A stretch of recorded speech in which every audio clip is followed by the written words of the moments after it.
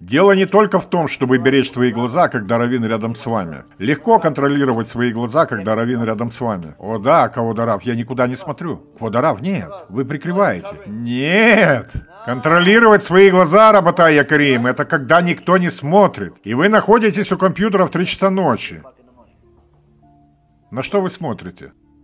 Видео включилось само по себе. Ангел смерти включил YouTube. У вас есть возможность, никого нет рядом. Жена уехала в отпуск. Все в отпуске. В 3 часа утра, и вы одни. Что вы будете делать? У вас есть возможность. Он только что пригласил тебя на вечеринку. И она послала тебе платье за 5000 долларов. Но ты знаешь, что это неприличное платье. Будешь ли ты одевать это платье? Из-за того, что оно стоит 5000 долларов. Это мелочь, которая является чем-то крупным. Но это все. Так нас судят. Если человек хочет заслужить хорошую жизнь в этом мире и в грядущем мире, то он должен воспринимать все очень серьезно.